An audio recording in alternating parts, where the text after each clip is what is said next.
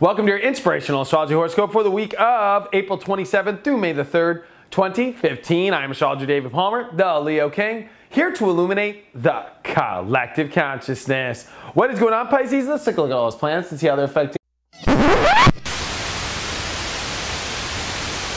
Want to dive deeper and get the best inspirational video horoscopes? Get my full message, my daily tarot and relationship readings, my sun sign horoscopes, and my daily push notifications. Subscribe now at my website, leoking.lookstack.com, or download the Leo King app at the iTunes and Google Play stores.